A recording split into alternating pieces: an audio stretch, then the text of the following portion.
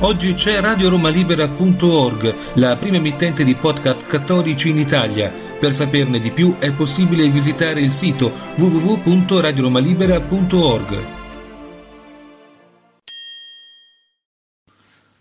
Cari amici, in questi giorni di agosto voglio ricordare con voi un grande evento che ebbe luogo 70 anni fa, la proclamazione da parte del Papa Pio XII del dogma dell'Assunzione ovvero del privilegio della corporea assunzione in cielo della Beata Vergine Maria.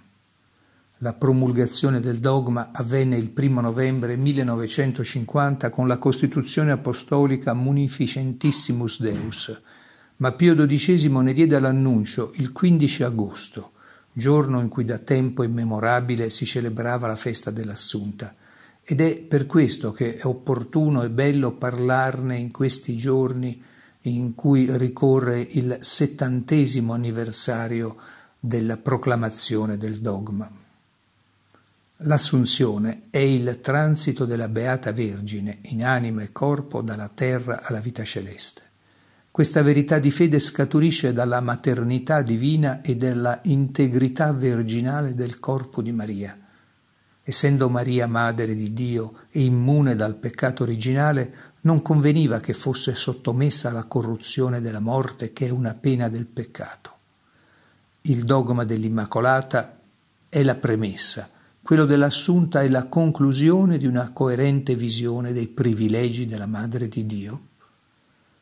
Pio XII nella enciclica in cui proclamò il dogma spiega Cristo con la sua morte ha vinto il peccato e la morte e sull'uno e sull'altra riporta vittoria in virtù di Cristo chi è stato rigenerato soprannaturalmente col battesimo.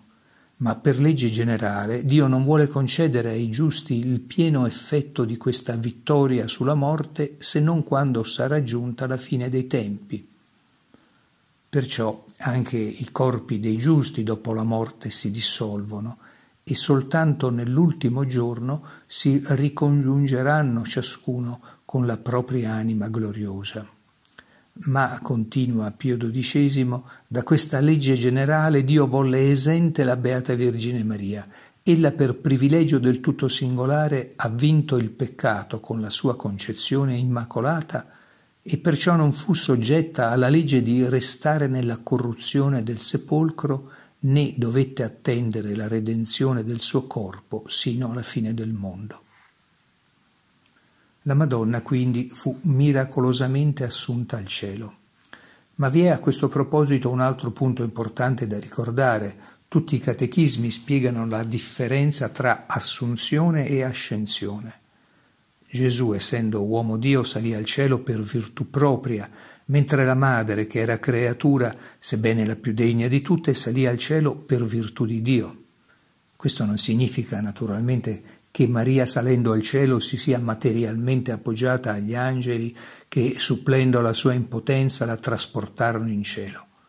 Gli angeli intorno all'assunta non servirono a sostenerla nel volo, ma solo a seguirla in uno straordinario corteo, il corpo della Madonna era divenuto un corpo glorioso e quindi non più sottoposto alle leggi della gravità, ma trasfigurato, sottile, agilissimo, irraggiante luce e bellezza. La voce dei popoli fin dai primi secoli celebrò l'Assunta, che può definirsi la più popolare festa della cristianità. La festa dell'Assunta è una delle più antiche presso i cristiani, così come la sua devozione. Santo Stefano, re d'Ungheria, che fu il primo re cristiano a consacrare il suo intero regno alla Madonna, scelse come giorno proprio il 15 agosto, da allora festeggiato da tutti e chiamato il giorno di Maria, regina di Ungheria. Un altro sovrano, Luigi XIII, re di Francia, il 15 agosto 1638 volle imitare il gesto di Santo Stefano consacrando a Maria tutto il suo regno il 15 agosto divenne ed è tuttora festa nazionale in Francia.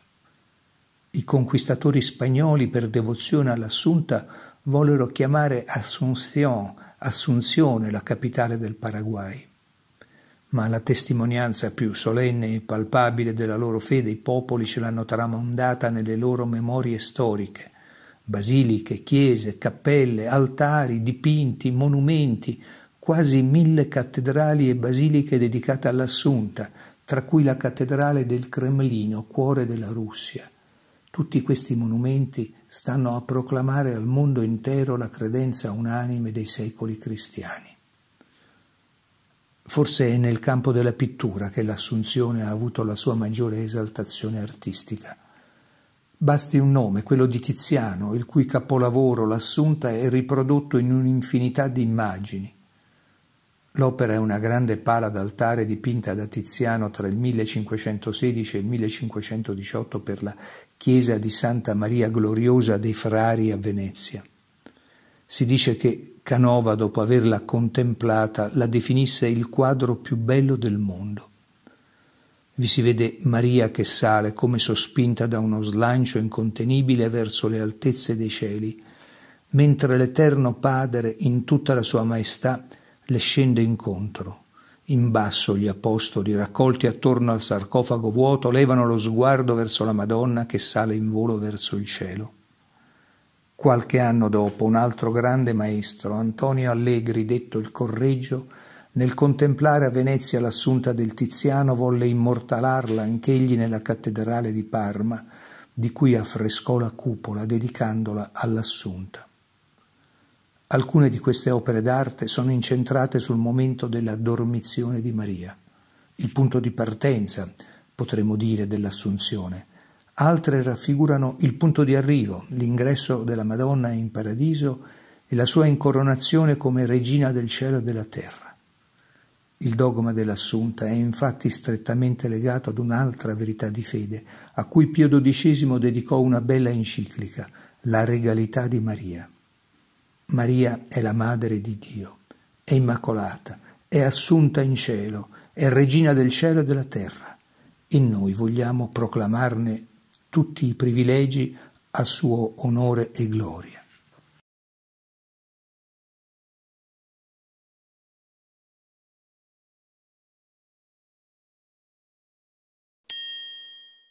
Oggi c'è RadioRomaLibera.org, la prima emittente di podcast cattolici in Italia. Per saperne di più è possibile visitare il sito www.radioromalibera.org.